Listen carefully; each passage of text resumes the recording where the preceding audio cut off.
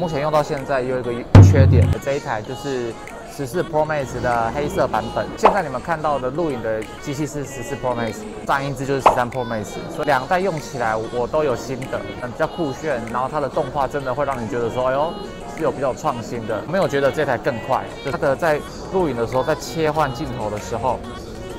它会有一个迅速过去的那种感觉。四系列呢，慢慢拉过去。慢慢拉过去，比较自然一点。它会那虽然说它是四千八百万，但是因为这次苹果他们有宣称，他们采用最新的三像素合一一千两百万画素的，启用到四千八百万画素呢，你就是要启动这个 Pro 模式。左边这个是一般模式下的拍摄，可以看到苹果在后台系统也是有去做一些优化处理。如果把照片去拉大，就可以发现用这个 Pro 模式下的。四千八百万画素就真的是完完全全吊打左边一千两百万画素的画质了。台湾时间九月八号，苹果发表了最新一代的 iPhone 十四系列，其中最受瞩目的一定就是 iPhone 十四的 Pro 系列啦。那因为它这次 Pro 系列呢有新增这个动态岛，那我也在九月十六号开卖当天就拿到了最新的 iPhone 十四 Pro Max，那我就给各位带来我使用两周后的心得吧。那手里的这一台就是十四 Pro Max 的黑色版本啊。那我旁边这台呢是呃借来的，是十三 Pro。那因为 Pro 跟 Pro Max 是差不多的啦，那我就暂时借这台来比较哦。但是我待会说的呢，都会是以十三 Pro Max 的呃体验，因为我现在你们看到的录影的机器是十四 Pro Max，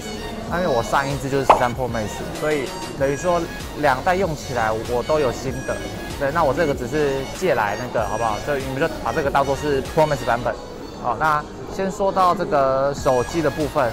操作使用上真的差不多。除了这一次它有多这个动态岛之外，可能比较酷炫，然后它的动画真的会让你觉得说，哎呦，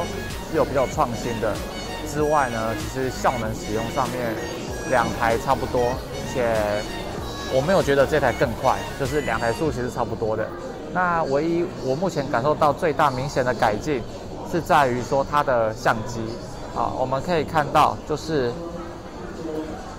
因为我本身有在录影嘛，我有在拍，我都用手机拍片的关系，所以我们可以看到，像十三 Pro 系列啊，它的在录影的时候，在切换镜头的时候，它会有一个就是迅速过去的那种感觉，哦，它会迅速的这样过去，那。十四系列呢，它在录影的时候，但是慢慢拉过去，慢慢拉过去，就是它的整个动画呢，其实会显得比较自然一点。它会用这种渐进式的方式这样过去。那因为其实我们在录影的时候，如果说我们影片，我我需要我今天看到一个景，我需要放大，我是马上一按它就跳过去。其实这个会让我们觉得比较不自然，而且会以为是卡顿。那十四 Pro 系列它这样子的一个。方式其实就让我觉得说，哎呦，整个相机都是很流畅的在运行。好，这个是我目前用到为止，因为我都是拿手机来拍影片、来录影嘛，所以对我来说这是最有感的，算是升级。这样，那你如果说拍照夜拍的部分，其实两只差不多，而且如果你们有去看各大的科技 YouTuber 他们在测试，也会发现这两只的夜拍其实真的差不多，顶多就只是。可能这次细节会再更好，就你放大的时候细节会再更清楚而已。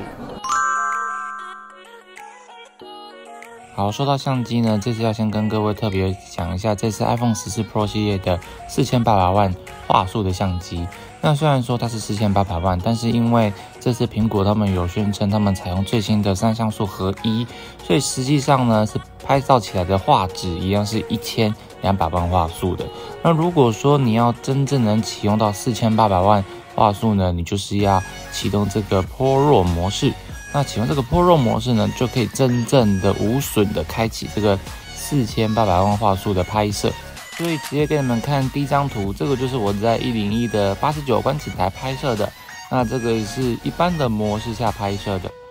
那接下来这张图呢，就是开启这个 Pro 模式下的拍摄，可以看到其实两张的照片感觉相差的是有点不一样的。把两张照片放在一起啊，最左边这个是一般模式下的拍摄，可以看到苹果在后台系统也是有去做一些优化处理，让整个感觉看起来是变得比较明亮。我们现在如果把照片去拉大，就可以发现右边这个 Pro 模式下的四千八万画素，就真的是完完全全吊打左边一千两百万画素的画质了。再来讲到电影级模式，上面是十三 Pro 的电影级，下面是十四 Pro 的电影级，两者的差距呢也非常的接近。真的要说呢，就是十四 Pro 的电影级模式的细节有比十三 Pro 再清楚一点。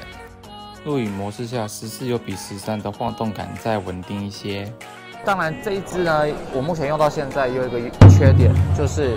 它比较容易烫。就是十三系列跟十四系列啊，这两个相比，呃，我在滑 FB 滑 IG 的时候，其实这个都不会烫，但这支会。所以呃，手机比较烫的话，其实就蛮影响它的电池的寿命的。所以这个部分，我觉得是我目前用下来，我会觉得比较担忧的部分。那这边还可以跟大家分享一下，就是因为我连续三年我的 iPhone 都是呃使用最新的。那我在前年使用 iPhone 十二 Pro Max 的时候，其实我就有明显感受到这台手机比较容易过热。那因为我的正常使用习惯呢，其实我不算一个重度的使用者，在白天工作的时候不会用手机，通常下完班之后才会看看影片、打打游戏这样，所以我不算是一个非常非常的重度使用者。而我的十二 Pro Max 在用了一年之后，我的电池耗损度来到了八十五八，而 iPhone 十三隔年。我发现 iPhone 十三真的比较不容易烫，所以在 iPhone 十三 Pro Max 用了一年之后呢，它的电池容量掉到只有九十五八，所以这也是我比较担心，这是十四 Pro Max 有可能会因为过热而导致电池耗损的比较快。对，那除了这个之外呢，其他的日常生活使用速度那一些的，我觉得真的都一模一样，没有比较快。所以说，如果你是有预算的，你的经费是有预算的人呢，我真的会推荐你要买，不如就买十三 Pro 系列就好，因为它真的很够用，而且它这一代的电池续航，我自己用下来，我我也真的很满意。那十四系列它的续航呢，只能说跟这一代持平吧，也没有比较进步，就只是持平而已。对，那就这样子推荐给你们。